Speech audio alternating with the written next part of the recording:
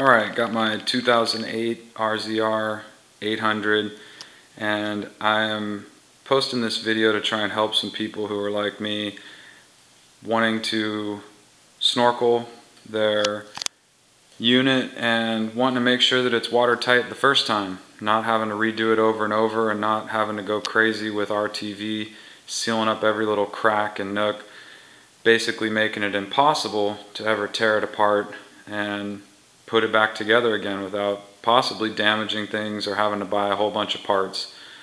I'll kind of explain that more as I go along. Sorry if this video gets long, but I feel like this is much needed. I haven't seen much online that gave me confidence in sealing this thing up properly. And that may just be this 2008. Maybe the 9 and above has some much needed improvements. But as you can see, got everything torn apart, starting my snorkel kit. Uh, so, I've read a lot about people putting these clutch belt covers back together and they still leak. They do it again and again and finally they get frustrated and they just put so much of some kind of silicone sealant on here that you know you're basically like I said making it impossible to tear it apart or even you know reuse the parts after uh, more than just once. So anyhow, this right here is the belt box back plate. And that's the inside of it. It will sit against your engine like this. Got three screws on each side. Well, the problem everybody's having, it seems, is the backside leaks. So, how do you take care of that? Well, I talked to Polaris, and in the shop manual, it says for the engine side, use blue RTV.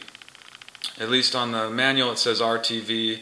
Uh, Polaris told me blue RTV is what's preferred, and if you've ever had this cover off, you've seen blue RTV all around here. Maybe not even a good job. Most of what I hear online is it's a terrible job. So, I used a citrus cleaner, sat in front of the uh, TV for about 30 minutes, uh, scratching, picking at it with different tools and picks, trying not to score up the plastic, but eventually getting it all out of there. As you can see, real clean. Um, used a citrus cleaner, worked great. Well, that's not the hard part.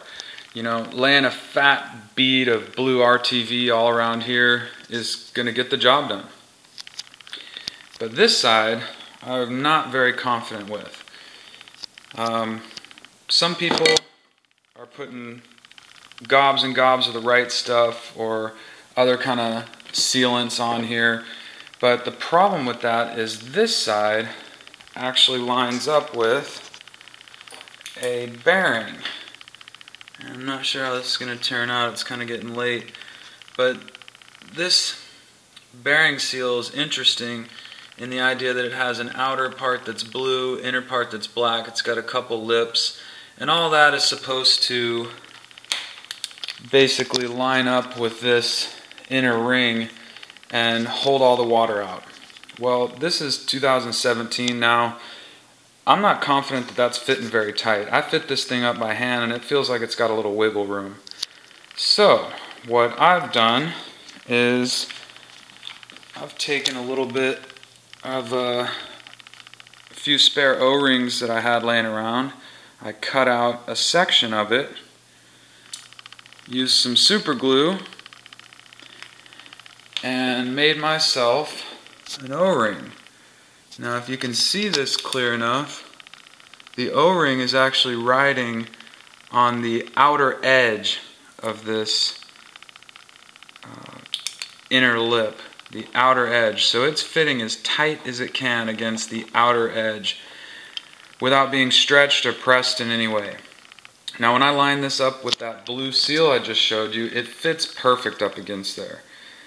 Now, I don't want to put blue RTV in here, or the right stuff, or any other kind of sealant, because I'll never get it off. Removing this from the engine side is not bad. It actually, on mine, it did not stick to the engine at all. The blue RTV actually only sits in here. And I'm not sure if that's because the engine side is very thin. As you can see right here, it's a very thin wall that'll actually press against that blue RTV. So, everybody's doing that. Polaris is doing that. I'm confident that's the right way to seal it up. Again, this side I've used an O-ring, homemade O-ring. I haven't measured this, but I'm sure if you measured this precisely, you could order a pre-made O-ring. Um, I would suggest the thinner the better. I'm not sure what my size is, so sorry if you guys in the comments. Um, maybe I'll get a caliper and measure it one day.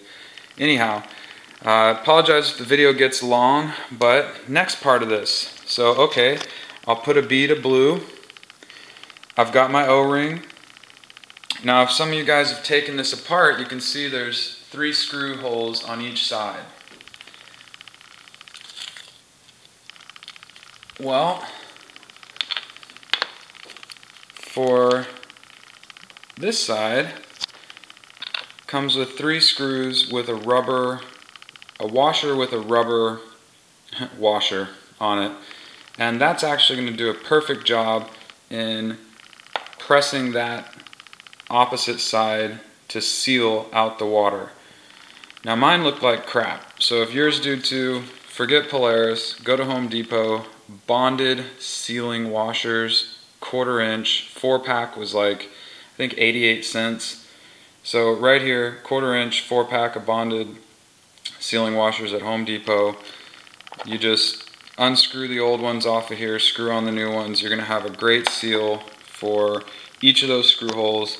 Make yourself an O-ring. You're going to have a great seal for that side.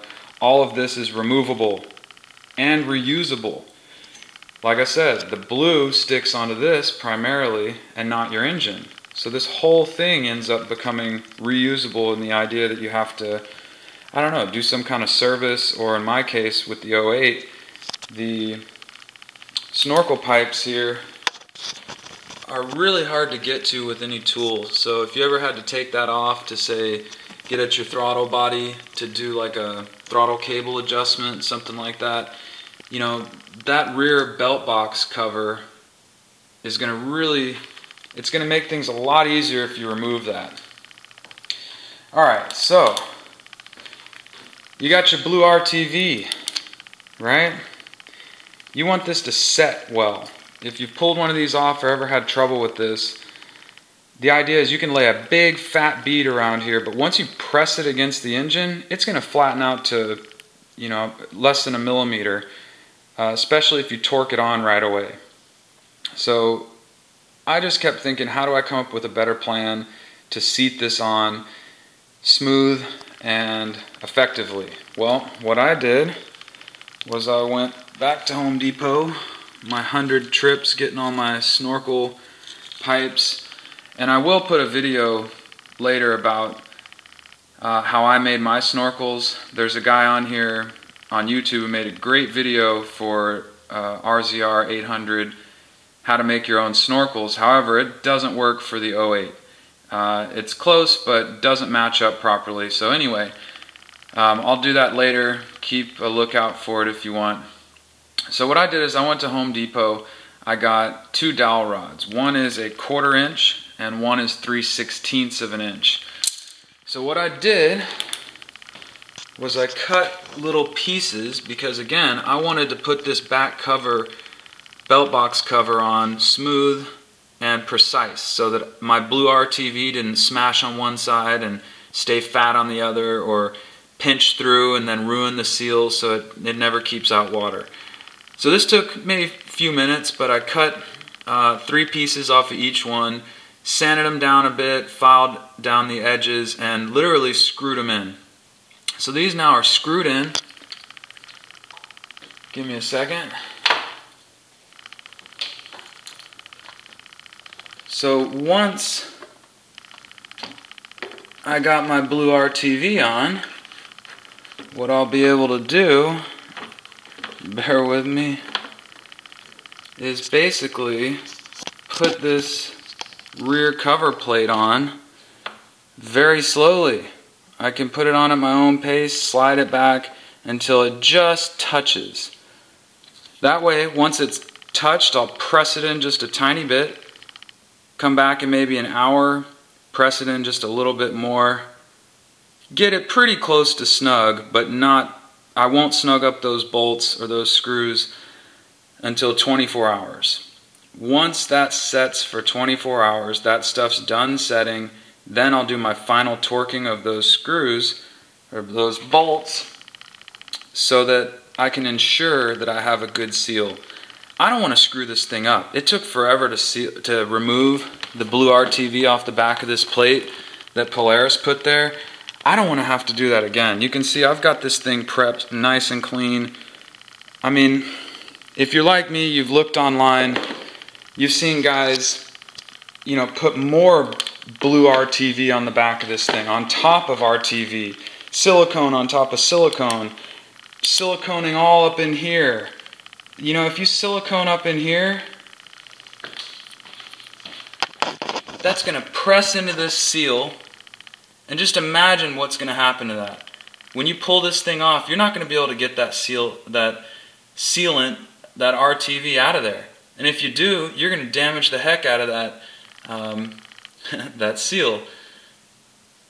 To me, it didn't make sense. You know, Polaris didn't seem to build these things to be watertight.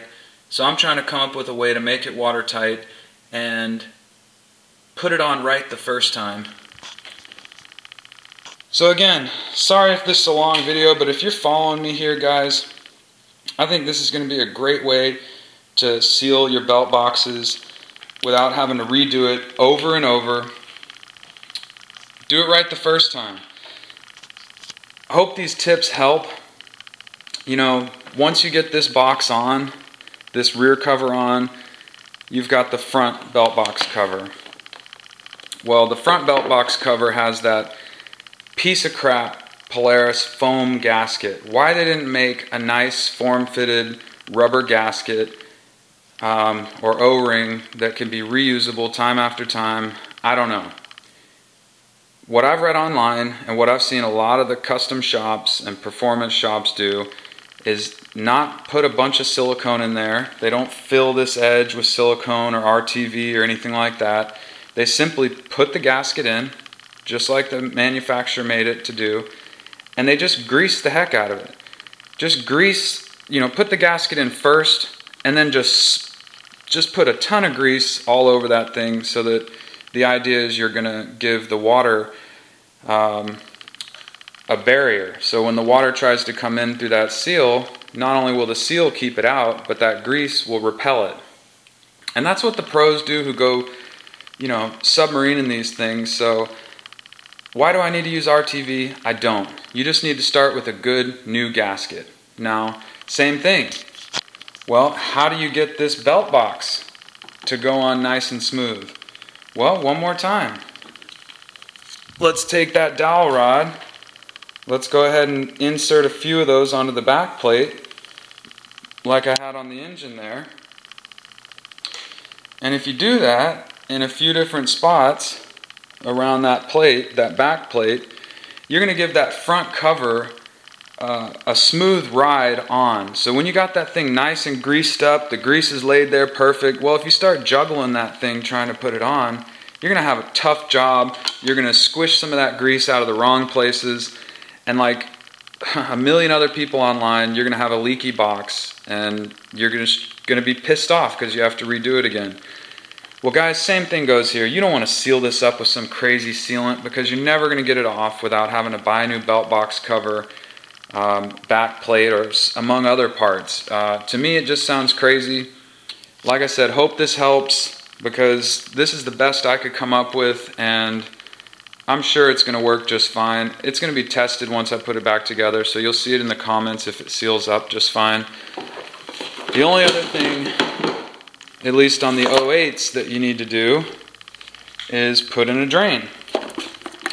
The 08s, 9s, 10s, maybe even 11s, for some reason did not come with a drain plug. But the later model ones did. Well, how do you take care of that? Well, some guys are putting in a tire valve stem. Other guys are putting in, I think, a Grizzly uh, any model Grizzly that has one of these, it's basically a grommet. You, you basically drill a hole on the primary side Let's see which way I got this thing. Okay, so you you basically drill a hole on the base of the primary side and you pop in that grommet and also that valve that comes on the grizzly. Well, I've seen online guys with grizzlies have those valves fail. So those valves eventually leak.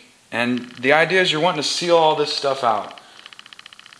Well, what I've come up with, I don't have the grommet here to show you, but I got some half inch inside diameter vinyl tubing.